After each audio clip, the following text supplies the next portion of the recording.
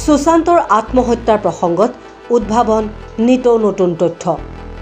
Girlfriend Riya চক্ৰৱৰ্তীৰ বিৰুদ্ধেও উঠিছে এটাৰ পিছত আন এটা বিস্ফোৰক অভিযোগ। ৰিয়াৰ অনুমতি অবিহনে কোনেও সাক্ষাৎ কৰিব নোৱাৰিছিল সুশান্তক। ইয়াৰ মাজতে সুশান্ত সিং ৰাজপুতৰ আত্মহত্যাক লৈ বিহাৰ পুলিচে দিল বিচাৰাৰ সকলো কলা কুশলীৰ লগত মত বিনিময় কৰিব। ইতিমধ্যে বিহাৰ আৰক্ষীয়ে ছবিখনৰ পৰিচালক মুকেশ চাবৰাক জেৰা কৰিছে।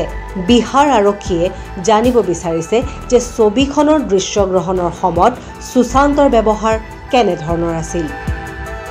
লগতে ৰিয়া চক্ৰৱৰ্তী আৰু সুশান্তৰ সম্পৰ্কৰ বিষয়েও আৰক্ষীয়ে জানিব বিচাৰিছে। দিল বিচাৰাত সুশান্তৰ লগত অভিনয় কৰা কলা কুশলীসকলৰ পৰা।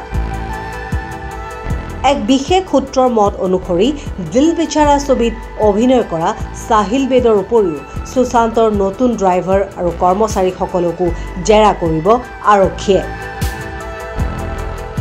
বিহাৰৰ পুলিচৰ মত অনুসৰি দিল বিচাৰাৰ পৰিচালক মুকেশ চাবৰাই কয় ডেৰ বছৰৰ পৰা এই ছবিখনৰ দৃশ্যগ্ৰহণ হৈ আছে। ইয়াৰ পিছত এডিটিঙৰ কাম হয়। তেতিয়া সুশান্ত ঠিকেই আছিল। কিন্তু যেতিয়া ৰিয়া চক্ৰৱৰ্তী সুশান্তৰ জীৱনলৈ আহিল তেতিয়া অভিনেতাজনৰ লাইফ সলনি হৈ গ'ল। আনহাতে বিহাৰ আৰক্ষীৰ প্ৰশ্ন মানসিকভাৱে অসুস্থ সুশান্তে নতুন নতুন ছবিৰ কাহিনীৰ ওপৰত আলোচনা কেনেকৈ কৰিছিল? সুশান্তৰ বেংকৰ একাউণ্টত কিমান টকা আছিল? আৰু এই টকা ক'ত আৰু কিয় ট্ৰান্সফাৰ হ'ল? লগতে ইয়াত ৰিয়া চক্ৰৱৰ্তীৰ ভূমিকা কি?